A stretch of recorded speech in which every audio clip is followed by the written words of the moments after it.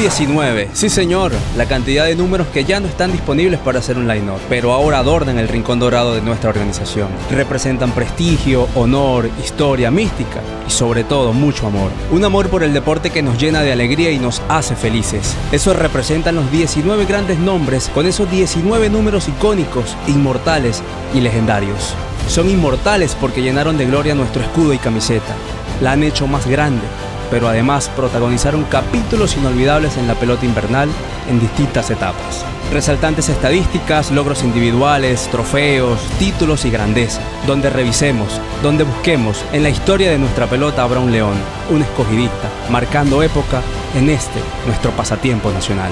Y claro, hasta pioneros han sido nuestras figuras, don Osvaldo Virgil, se le recuerda por abrir el camino, por poner el nombre de la pelota nacional en el universo de las grandes ligas. El antesalista con mucha capacidad para batear fue un pelotero de impacto.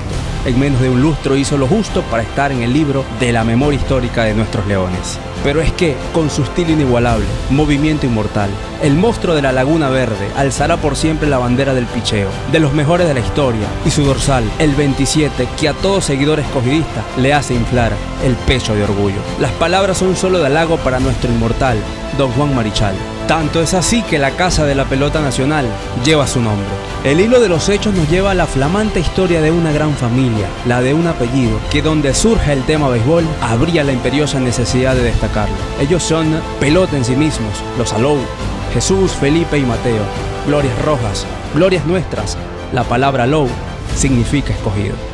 Recientemente en el año 2021 otro gran hecho anecdótico de nuestra franquicia desbordó las pasiones. El 5, en poder por siempre del gran Junior Novoa, se defundó para que lo usara la leyenda viviente, Albert Pujols. Son momentos únicos, propios del escogido. Pero sepan además que los números 17 y 20 honran grandes nombres compartidos, Mateo Olou y Osvaldo Vigil con el 17 y el 20 del gran Federico Velázquez y Jerónimo Berroa. En el selecto grupo de números en retiro destacan además el 00, Rufino Linares. Es el dueño de ese peculiar número, muy peculiar, 00, más valioso en la final del 89-90 y fue parte de los equipos campeones del 87-88, 88-89, 89-90 y 91-92.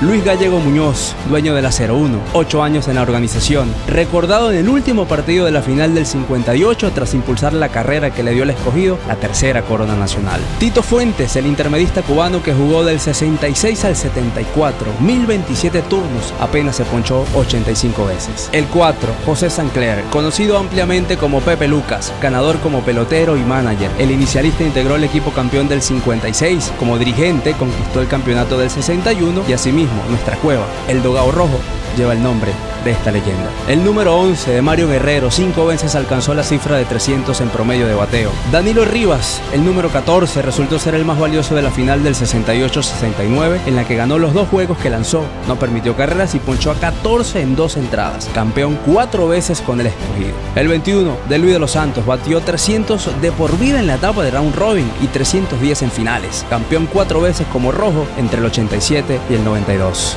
El gran Mario Melvin Soto número 36, 11 temporadas con los rojos, récord vitalicio de 28 y 17, campeón de las campañas 80-81, 81-82 y 87 y 88. Además, gerente rojo en el 2007, drafteó nada más y nada menos que a Fernando Martínez, ese año novato del año, a Carlos Santana y al gran Iván Nova.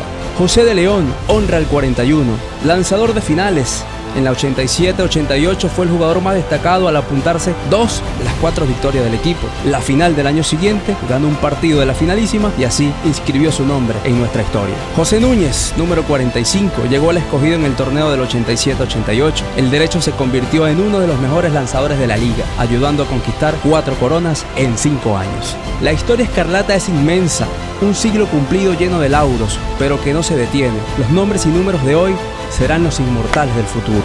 ¿Cuál será el próximo número en retiro? Ya lo sabremos. Historias rojas se siguen escribiendo.